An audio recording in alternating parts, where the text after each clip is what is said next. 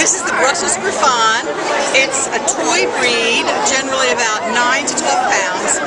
They have the most wonderful personalities. They are sweet, funny, loving, playful. They love to entertain you, and they're just a great dog. They're particularly a great apartment dog because they'll only take amount of exercise that you want to have, and they like to be with you all the time.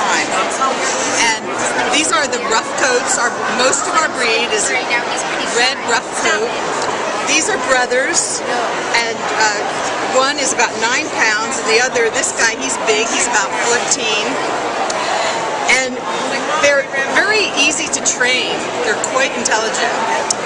The standard for the breed calls for an almost human expression, and that's what people say about them a lot. Is oh, their face is so expressive, and it, it really is.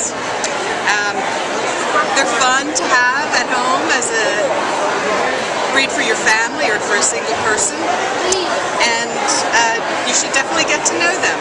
So, thank you for meeting the Brussels Griffon at AKC.